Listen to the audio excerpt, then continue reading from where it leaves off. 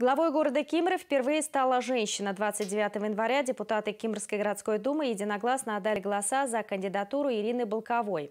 Ирина Балковая родилась в Кимрах. Вся ее профессиональная деятельность связана с родным городом. Известна как опытный управленец и чуткий человек. Более 12 лет работала заместителем главы Кимр, курируя вопросы социальной политики, развития системы среднего и дошкольного образования.